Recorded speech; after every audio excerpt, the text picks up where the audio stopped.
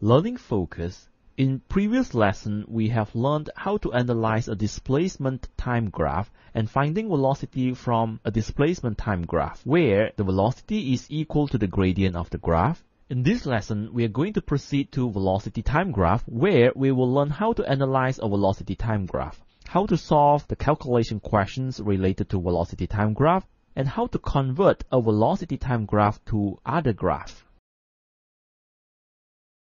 Velocity time graph 1. A velocity time graph illustrates how the velocity of a moving object varies over time. It is the most useful graph for analyzing motion. In SPM, more than 90% of the questions related to graph of motion in the SPM exam are questions of velocity time graph. There are a few things that you need to know about a velocity time graph. First, it tells the velocity at any instant. For example, in this graph, we can tell that the velocity of trolley B at 20 seconds is 10 meter per second, whereas the velocity of trolley A at 20 seconds is 30 meter per second. Second, the gradient of velocity time graph represents the acceleration of the motion. Third, the area between the graph line and the x-axis represent the displacement of the motion. Fourth, the positive and negative value of the velocity tells the direction of motion. Click on the More Explanation button for further explanation. You may also skip the explanation and proceed to the exercise directly. Velocity Time Graph 2 In a velocity time graph, the gradient of the graph represents the acceleration. The higher the gradient, the higher the acceleration. The lower the gradient, the lower the acceleration. For example, in this graph, the acceleration of trolley A is higher than trolley B because the gradient of the graph line of trolley A is higher than the gradient of trolley B. If the gradient is negative, the acceleration is also negative. A negative acceleration can mean deceleration or accelerates in the negative direction.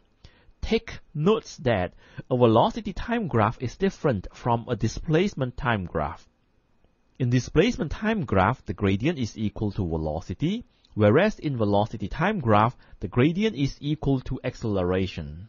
Let's try to find the acceleration of trolley A.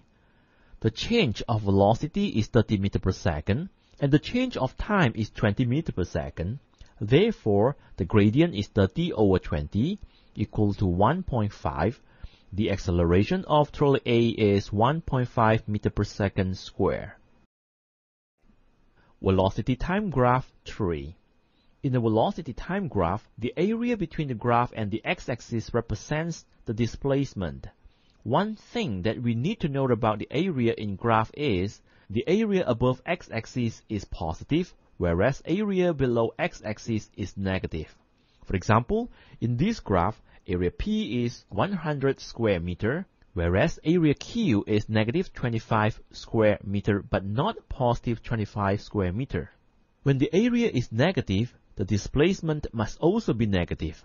A negative displacement means the motion is in the opposite direction. Let's come back to this graph.